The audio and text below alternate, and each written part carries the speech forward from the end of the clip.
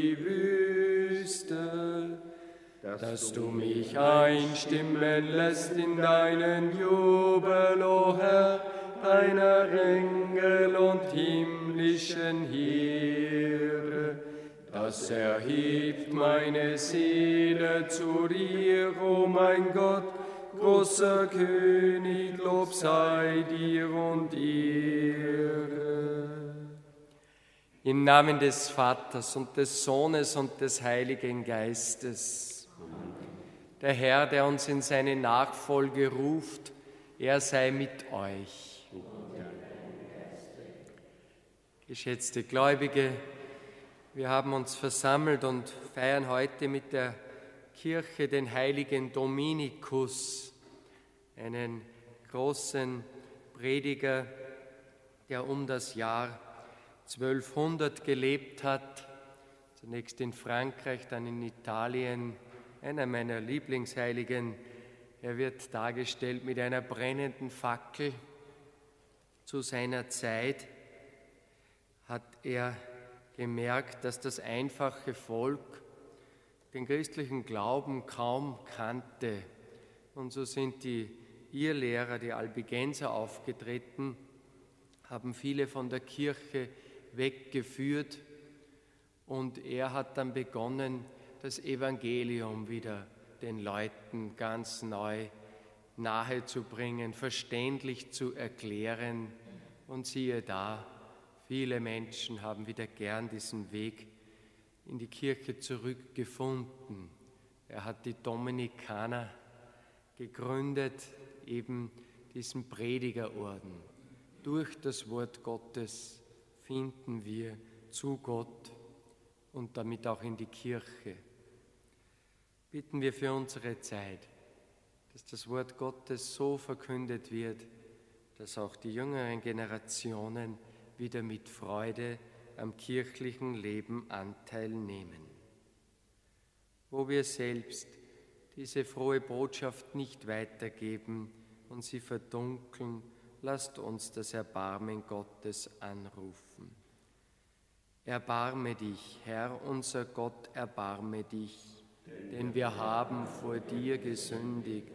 Erweise, Herr, uns deine Huld und schenke uns dein Heil. Nachlass, Vergebung und Verzeihung unserer Sünden schenke uns der gnädige und barmherzige Herr. Kyrie eleison. Christe eleison. Kyrie eleison. Lasset uns beten.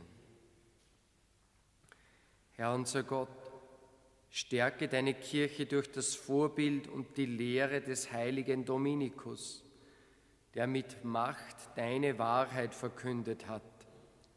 Höre auf seine Fürsprache und erwecke auch in unserer Zeit Prediger, die dein Wort glaubwürdig verkünden. Darum bitten wir durch Jesus Christus, deinen Sohn, unseren Herrn und Gott, der in der Einheit des Heiligen Geistes mit dir lebt und herrscht in alle Ewigkeit. Amen.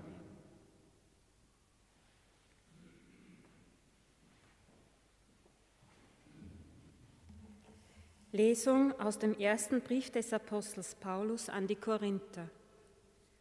Als ich zu euch kam, Brüder, kam ich nicht um glänzende Reden oder gelehrte Weisheit vorzutragen, sondern um euch das Zeugnis Gottes zu verkünden. Denn ich hatte mich entschlossen, bei euch nichts zu wissen, außer Jesus Christus, und zwar als den Gekreuzigten.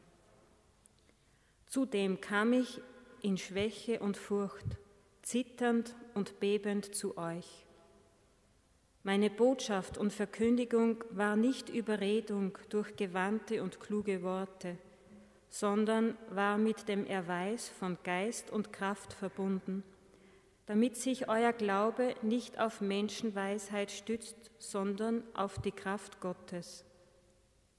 Und doch verkündigen wir Weisheit unter den Vollkommenen, aber nicht Weisheit dieser Welt oder der Machthaber dieser Welt, die einst entmachtet werden. Vielmehr verkündigen wir das Geheimnis der verborgenen Weisheit Gottes, die Gott vor allen Zeiten vorausbestimmt hat zu unserer Verherrlichung. Keiner der Machthaber dieser Welt hat sie erkannt. Denn hätten sie die Weisheit Gottes erkannt, so hätten sie den Herrn der Herrlichkeit nicht gekreuzigt.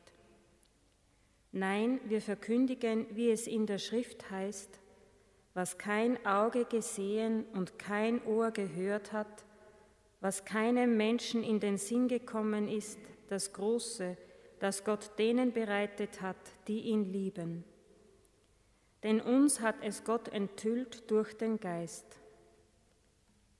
Wort des lebendigen Gottes. Dank sei. Wir singen die dritte Strophe dass du mich einstimmen lässt in deinen Jubel, o oh Herr, deiner Engel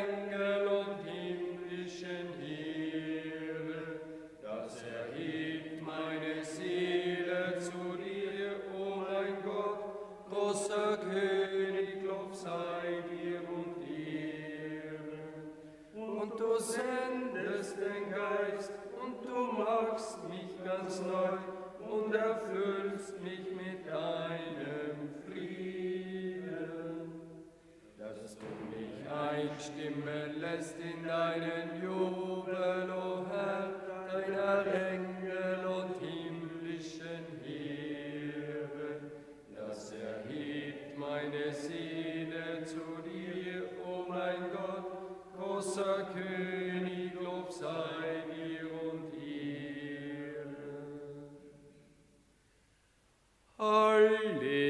Halleluja, Halleluja.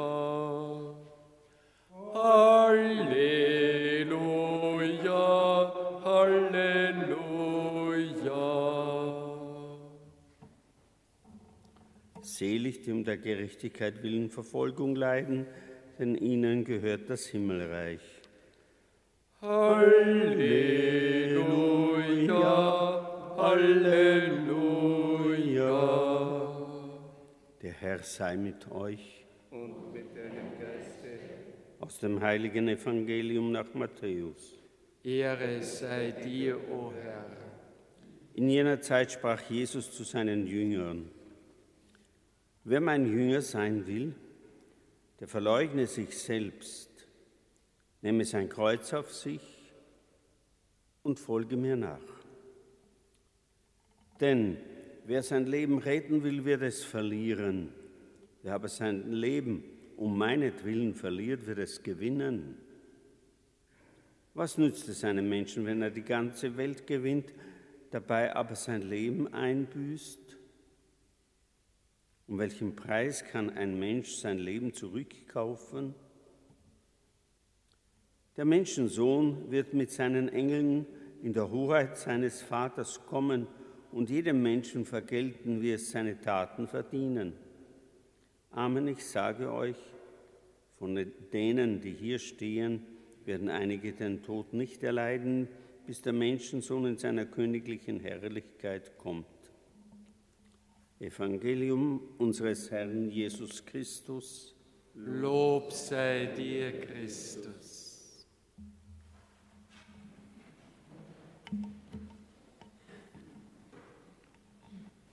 Geschätzte Schwestern und Brüder im Glauben, Jesus spricht heute zu uns Jüngern über unsere Nachfolge.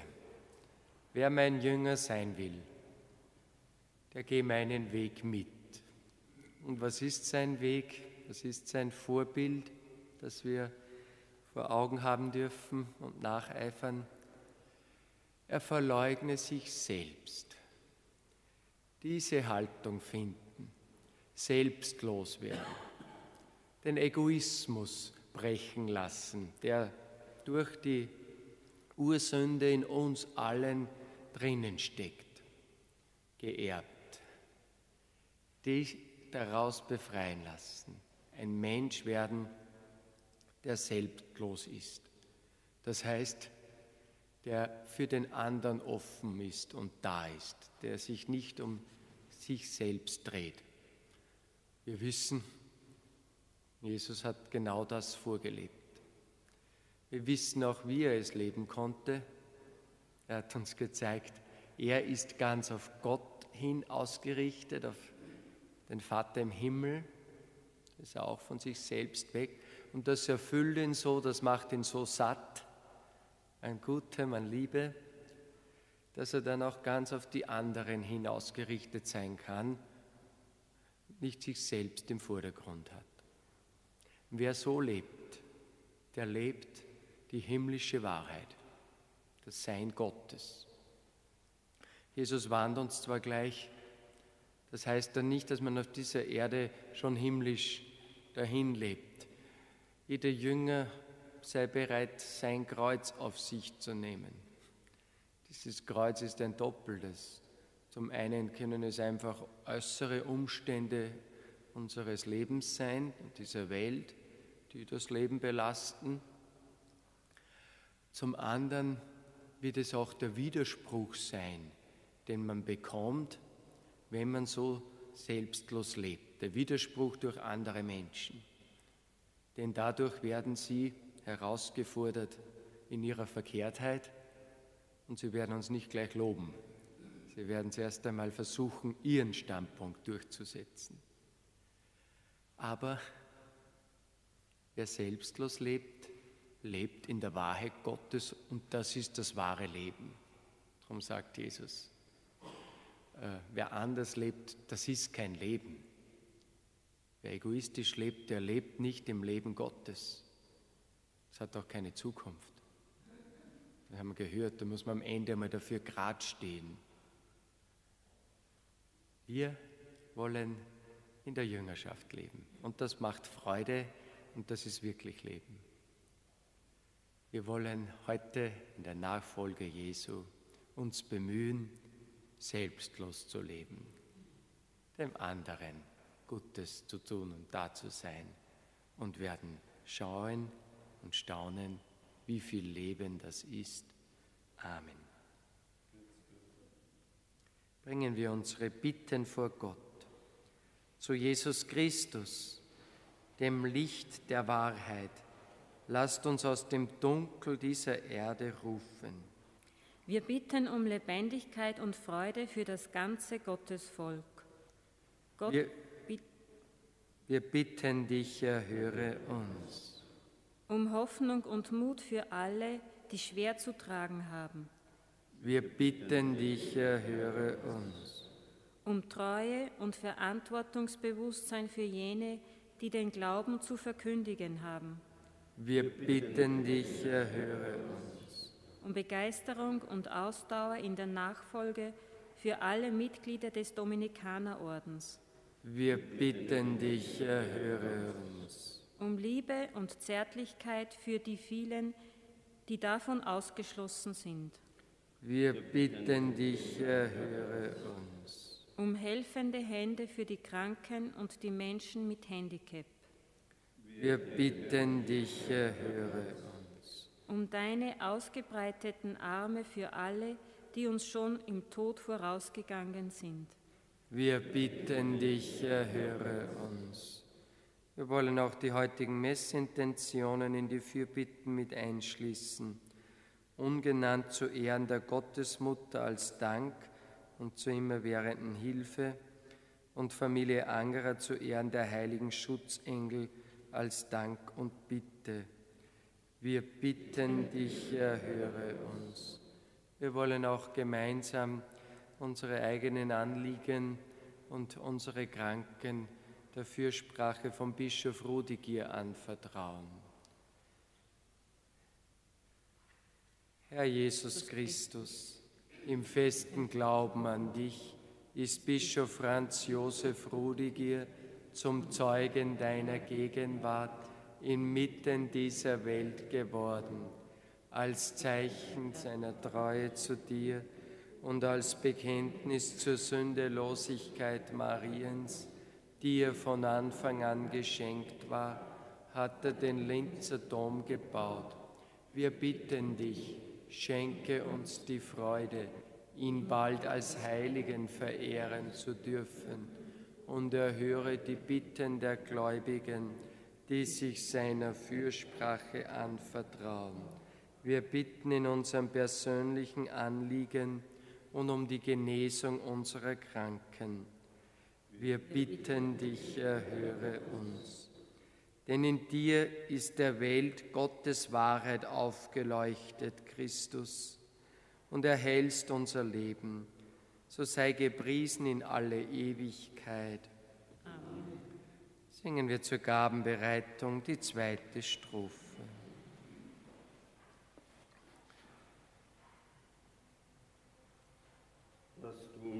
Einstimmen lässt in deinen Jubel, o Herr, deiner Engel und himmlischen Heere. Das erhebt meine Seele zu dir, o mein Gott, großer König, Lob sei dir und reichst mir das Brot und du reichst mir den Wein, und bleibst selbst, Herr, mein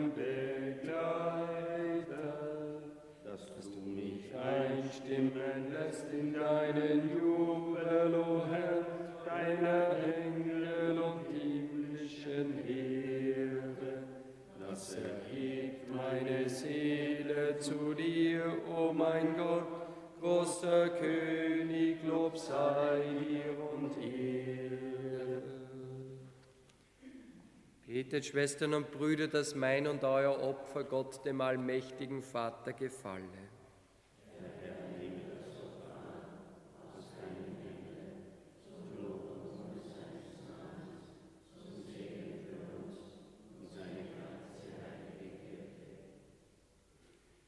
Barmherziger Gott, erhöre unser Gebet auf die Fürsprache des heiligen Dominikus Schenke aus diesem Opfer deines Sohnes all denen Kraft und Schutz, die den Glauben in der Welt verkünden. Darum bitten wir durch Christus, unseren Herrn. Amen. Der Herr sei mit euch. Erhebet die Herzen. Lasset uns danken dem Herrn, unserem Gott. In Wahrheit ist es würdig und recht, dir, allmächtiger Vater, zu danken und in den Heiligen deine Größe zu rühmen. Inmitten der Kirche berufst du Menschen, sich Christus zu weihen und mit ganzer Hingabe das Himmelreich zu suchen. In ihnen offenbarst du deinen Ratschluss, uns Menschen die ursprüngliche Heiligkeit neu zu schenken und uns schon jetzt mit Freude an den Gütern der kommenden Welt zu erfüllen durch unseren Herrn Jesus Christus. Durch ihn preisen dich Himmel und Erde, Engel und Menschen und singen wie aus einem Munde das Lob deiner Herrlichkeit. Heilig, heilig,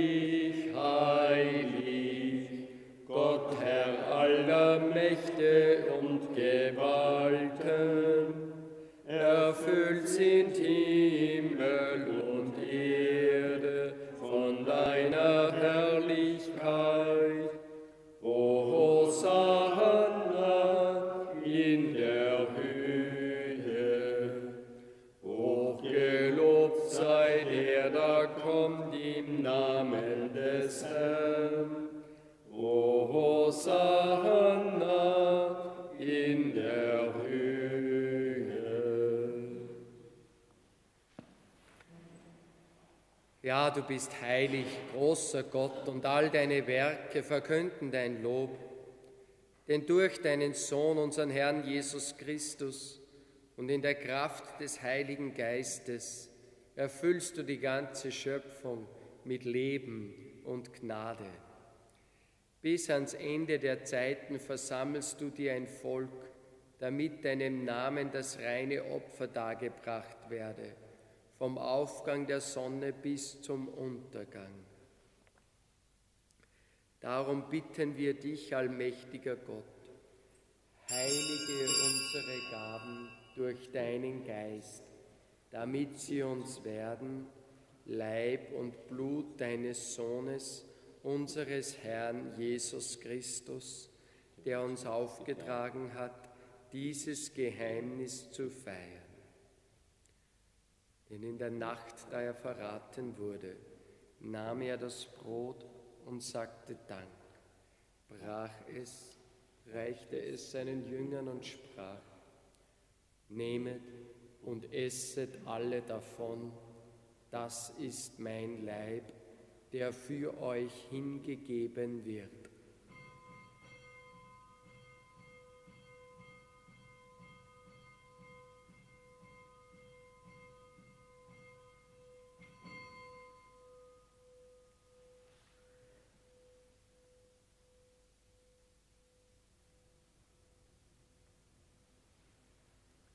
Ebenso nahm er nach dem Mahl den Kelch, dankte wiederum, reichte ihn seinen Jüngern und sprach, Nehmet und trinket alle daraus, das ist der Kelch des neuen und ewigen Bundes, mein Blut, das für euch und für alle vergossen wird zur Vergebung der Sünden. Tut dies zu meinem Gedächtnis.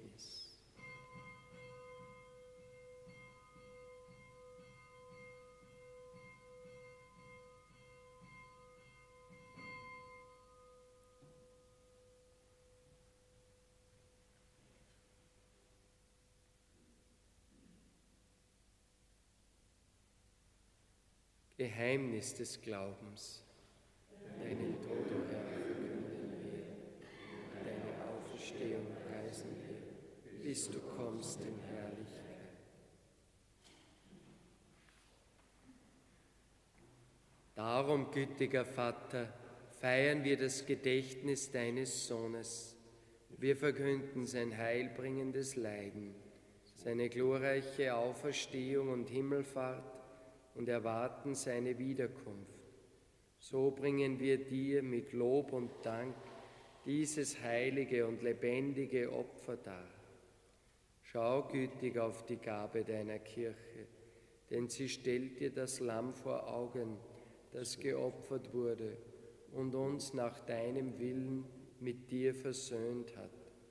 Stärke uns durch den Leib und das Blut deines Sohnes und erfülle uns mit seinem Heiligen Geist, damit wir ein Leib und ein Geist werden in Christus. Er mache uns auf immer zu einer Gabe, die dir wohlgefällt, damit wir das verheißene Erbe erlangen mit deinen Auserwählten, mit der seligen Jungfrau und Gottesmutter Maria, mit dem seligen Josef, ihrem Bräutigam, mit deinen Aposteln, mit dem heiligen Dominikus und mit allen Heiligen, auf deren Fürsprache wir vertrauen. Barmherziger Gott, wir bitten dich, dieses Opfer unserer Versöhnung bringe der ganzen Welt Frieden und Heil. Beschütze deine Kirche auf ihrem Weg durch die Zeit und stärke sie im Glauben und in der Liebe. Deinen Diener, unseren Papst Franziskus, unseren Bischof Ludwig, und die Gemeinschaft der Bischöfe, unsere Priester und Diakone, alle, die zum Dienst in der Kirche bestellt sind und das ganze Volk deiner Erlösten. Erhöre, gütiger Vater, die Gebete der hier versammelten Gemeinde und führe zu dir auch alle deine Söhne und Töchter, die noch fern sind von dir.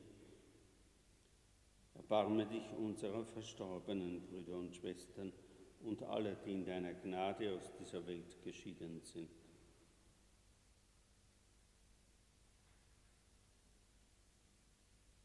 Nimm sie auf in deine Herrlichkeit und mit ihnen lass auch uns, wie du verheißen hast, zu Tische sitzen in deinem Reich. Darum bitten wir dich durch unseren Herrn Jesus Christus, denn durch ihn schenkst du der Welt alle guten Gaben.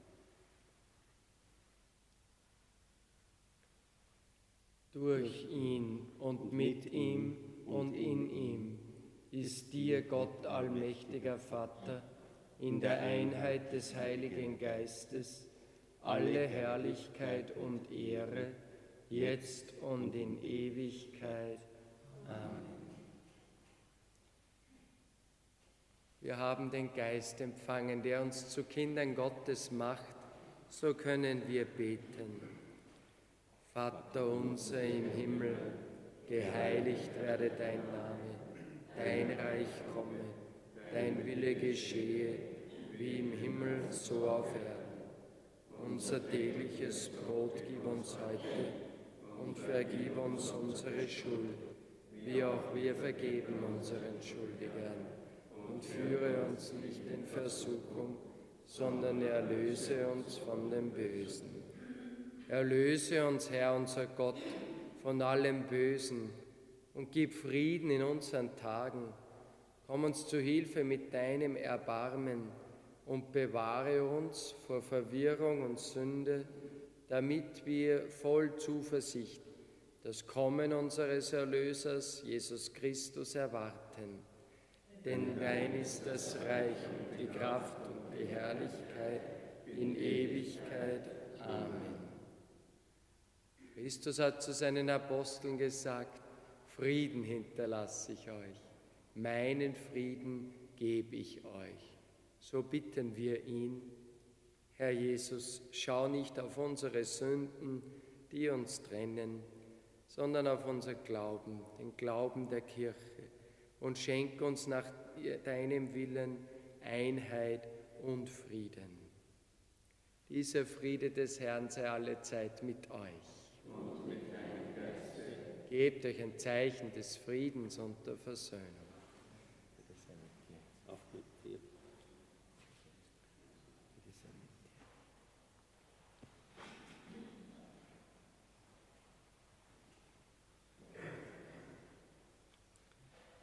Lamm Gottes.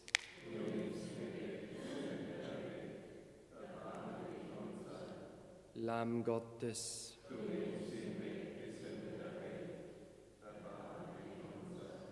Lamm Gottes.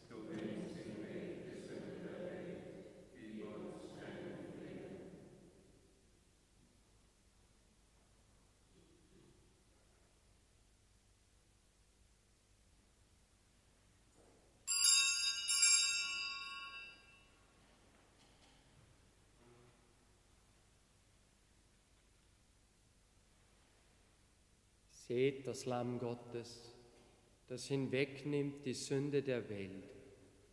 Herr, ich bin nicht würdig, dass du eingehst unter mein Dach, aber sprich nur ein Wort, so wird meine Seele gesund. Wer mir nachfolgt, wird das Leben gewinnen.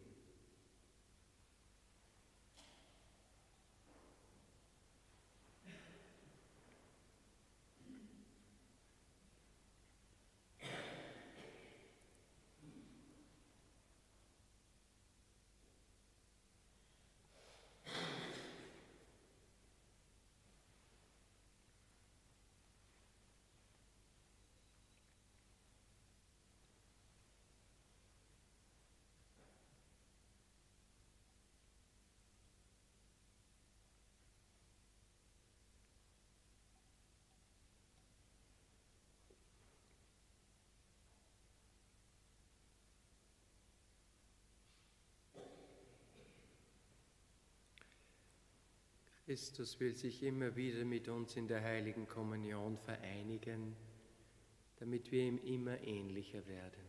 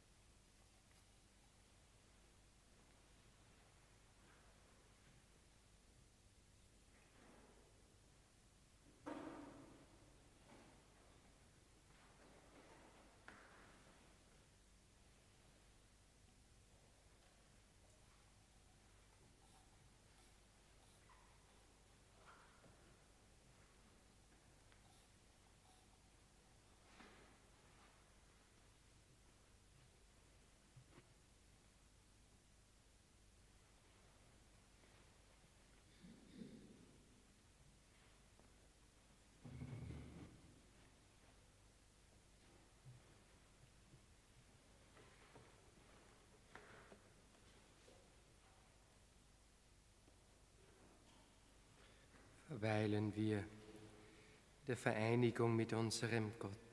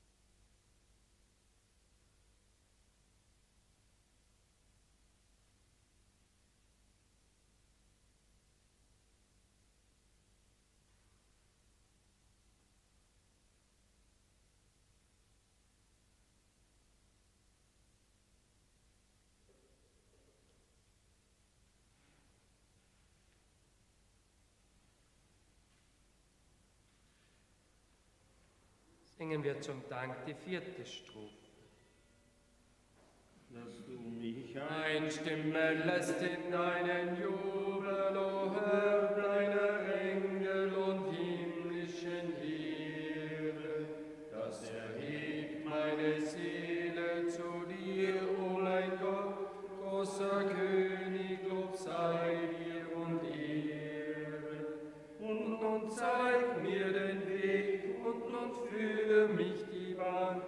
deine Liebe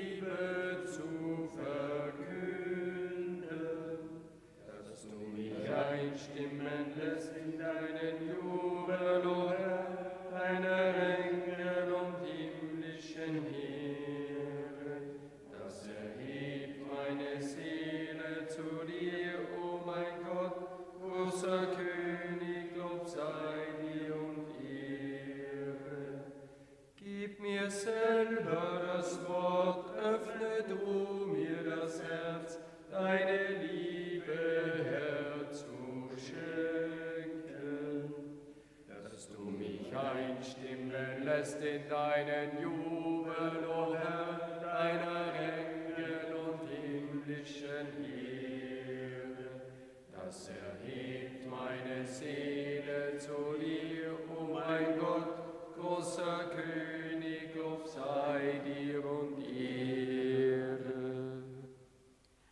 Lasset uns beten. Herr unser Gott, du hast uns mit dem Brot des Himmels gestärkt.